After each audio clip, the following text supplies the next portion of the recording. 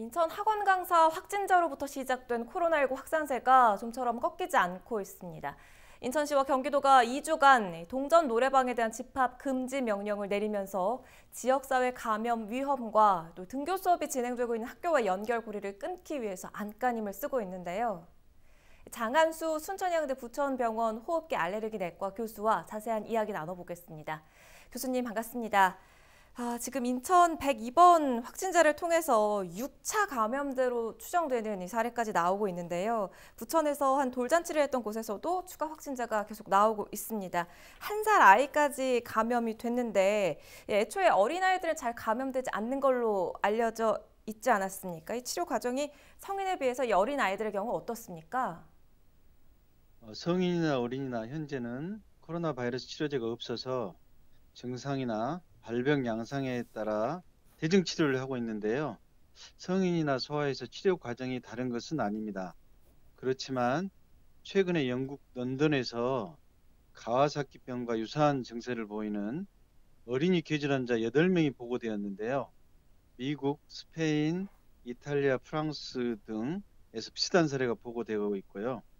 이탈리아에서는 아, 코로나19 어린이 환자 10명과 가와사키 병과 연관성에 대해 조사했더니 10명 중 8명이 코로나19 항체가 양성 반응을 보였고요. 네. 이 괴질의 특징은 고열, 발진, 충혈된 눈, 통증 등 가와사키 병과 비슷한 증상을 보이는 특징을 가지고 있고요. 그래서 소아 다발성 염증 증후군이라고 불리고 있는데요. 원인과 치료법은 아직 모릅니다. 네. 현재까지 국내에서 코로나19에 의한 어린이 괴질 등이 확, 확인된 바는 없지만 지속적으로 모니터링이 필요할 것으로 보입니다. 그렇군요. 말씀하신 것처럼 이 어린이 괴질에 관한 부분도 좀 짚어봐야 할 것 같습니다. 아, 지금 앞서 말한 사례의 경우는 돌잔치에서 사진을 찍었던 이 택시 기사가 바이러스로 옮긴 건데 택시 기사는 마스크를 썼다고 밝혔거든요. 자, 그렇다면 마스크를 하지 않았던 사람들이 감염됐다. 이렇게 볼 수가 있을까요? 예, 사진 찍었던 그 택시 기사분이 마스크를 썼지만 돌잔치가 이제 좋은 날이라 같이 음식을 먹으면서 감염되거나 또는 좁은 공간에서 마스크를 밀착하여 쓰지 않아서 바이러스를 타인에게 감염시켰을 가능성이 있다고 보여집니다. 그렇군요. 이 지금 택시 기사는 문제가 되고 있는 동전 노래방에서 감염이 된 걸로 알려졌습니다. 초기 학원 강사 102번 환자가 근무한 보습학원과 또 그 제자가 다녀간 인천의 동전 노래방을 매개로 한 이번 전파는 최근 부천 돌잔치 부페 식당으로까지 번진 뒤에 확진자가 수도권 곳곳에서 나오고 있는 상황인데요.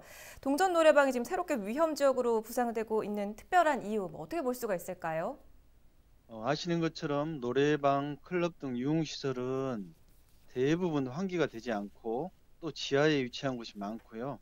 지하가 아니더라도 환기가 될 되지, 잘 되지 않는 않아서 바이러스 확산에 영향을 미치고 있는데요. 노래방은 특히 이제 마이크 등을 공유하는 것이 문제고요. 음, 마이크 덮개를 어, 사용자마다 갈지 않고 쓰게 됩니다. 세계 보건 기구에서 코로나19 바이러스가 마스크 표면에 최대 7일간 생존할 수 있다고 하고요. 네. 플라스틱에는 4일, 유리에는 2일, 섬유와 목재에는 24시간 정도 생존하는 것으로 보고하고 있는데요.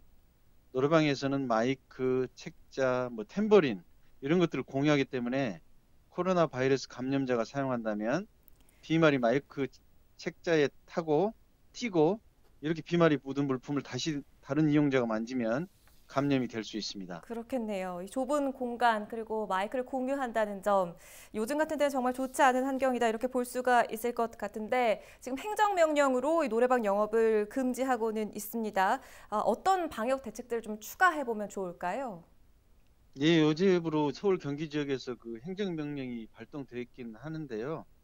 어, 노래방, PC방 등이 폐쇄 공간이기 때문에 바이러스 비말이 공기 중에 머무를 수 있는 가능성이 많기 때문에 감염 위험이 높은 시설에 출입을 자제하는 것이 가장 좋고요. 네. 또 이제 노래방을 가동할 경우에는 노래방 관리자가 방문자가 지나간 후에 노래방 공간이나 물품을 소독할 필요가 있고요. 마이크 커버 같은 경우도 어, 사용자가 바뀔 때마다 교체해야 되고요. 만약에 노래방을 사용하는 사용자는 자기 마스크를 꼭 사용하고 마이크나 책자 등 물품을 만지고 나서 손을 이제 얼굴로 되게 가져가는 경우가 많은데 이런 걸 음. 삼가하고 손 씻기를 손 씻기를 잘 해야 할 것입니다. 네, 지금 여러 번 강조해드리고 있는 이 방역 수칙인데요. 우리가 실천하는 게 무엇보다도 중요하겠습니다. 오늘 말씀 고맙습니다. 장한수 순천향대 부천병원 호흡기 알레르기 내과 교수와 이야기 나눠봤습니다.